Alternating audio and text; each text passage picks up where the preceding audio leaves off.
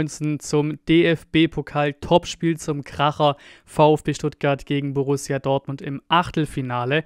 Vor ein paar Wochen hat man selbe Partie gehabt in der Bundesliga auch, auch Heimrecht für den VfB. 2 zu 1, aber viel zu, ja, viel zu gering ausfiel. Da haben wir Dortmund dominiert, muss man ja sagen. Generell weiß man halt nicht, was du von Dortmund kriegst. Ne? Kriegst du das Champions League Dortmund, das durchaus richtig stark ist. In Leverkusen ein bisschen mehr gebunkert, aber auch einen Punkt mitgenommen in Leverkusen, ne? Musst du auch erstmal machen. Deswegen, du weißt nicht ganz, was du bekommst, plus eben auch da vielleicht so ein bisschen, keine Ahnung, Aberglaubenmäßig oder wie auch immer, statistisch, Bilanz, wie auch immer, ist es, sag ich mal, schwer vorstellbar irgendwie, dass du Dortmund in der Liga und ein paar Wochen später im Pokal auch noch schlägst. So vom Gefühl her ist es ja oft so, dass dann, wenn es so, ne, gleiche Partie zweimal miteinander ist, einer die Liga gewinnt und einer den Pokal gewinnt. Gut, gegen Union war es Gegenbeispiel, beides gewonnen, aber Union natürlich auch in einer ganz anderen Phase, in einer viel schlechteren Phase als der BVB. Da war es natürlich viel machbarer, die in beiden Spielen zu schlagen. Ne? Das ist so ein bisschen das Thema. Sonst natürlich auch ganz klar, wir sind hier, ja, weder Underdog noch Favorit, würde ich sagen. Klar, Heimspiel, ähm, aber hier ist alles drin. Hier ist absolut alles drin gegen Dortmund im Pokal. Ich man kann sich so einfach nicht vorstellen, dass die nochmal so eine Vorstellung liefern wie in der Bundesliga gegen uns. Das war wirklich sehr, sehr schwach. Wir waren auch sehr, sehr gut. Ne? Also zusammengepasst, wir sehr, sehr gut, aber sehr, sehr schwach. Aber die werden schon ein bisschen besser sein, ähm, denke ich mal, im Pokal als in der Liga.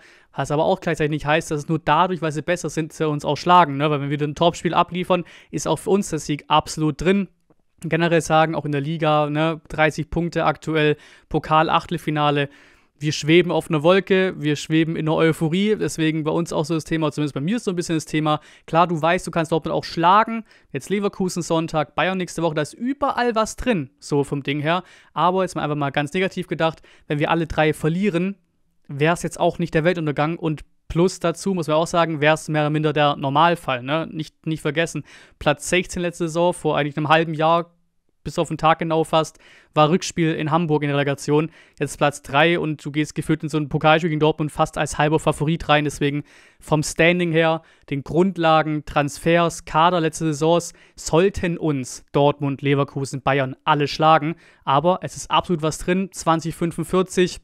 Ne, Flutlichtspiel, Pokalspiel ausverkauft. Es wird eine Wahnsinnsstimmung sein, glaube ich. Plus dieser VfB hat uns bewiesen, wie gut er ist. Gegen Bremen so abgezockt, gegen Dortmund so spielerisch stark.